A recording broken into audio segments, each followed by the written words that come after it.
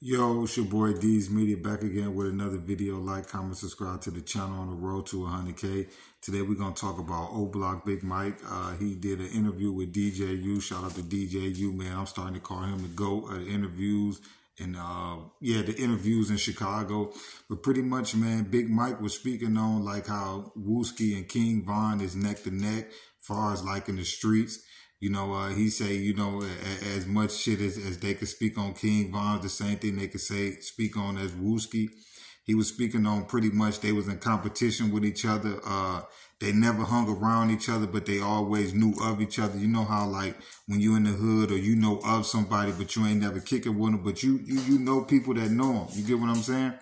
But pretty much, man, Big Mike, man, he he he keep it real, man. I gotta give him his props, man. You know, I don't feel like in that interview, you know, he he he held back and didn't didn't tell didn't tell the truth on a lot of shit. You know, the only thing that I feel like he he fucking up is I feel like he talking a little bit too much for RICO to be going on. Uh, you know, he I feel like, bro, that's it, it's a bad time right now for any O Block dudes to do interviews. But at the end of the day, bro, uh, you know, he gave the internet what they wanted because we wanted to hear from Big Mike. Y'all can go check out his interview with DJ UTV. Uh, but you know, he did speak on, you know, teaching King Von everything about the streets. You know, he was pretty much like, you know, when I when I met King Von, you know, they didn't even know how to how, how to decock a, a gun. Now, if anybody ever played with a gun or anything like that, you know if your gun get jammed or anything like that, a lot of people don't know how to get it unjammed. He was pretty much saying like I told Show King Von little shit like that. So you could tell, you know, him and King Von definitely did have a relationship or rapport.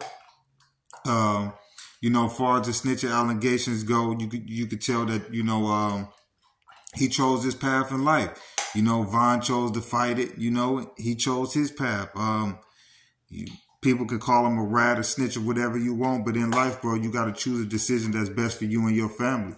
Uh, you got to understand a lot of people may not agree with it, but that's life, you know. Uh, that's just the, that's just the way the street shit go.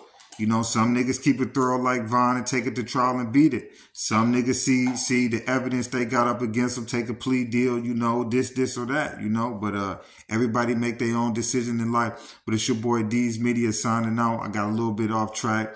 But uh yeah, man, O Block Big Mike said, you know, Wooski and Von, bro, you know, uh they neck to neck, man, far as like with bodies and street shit, bro. But it's your boy Dees Media. Y'all go check out his DJU interview, man.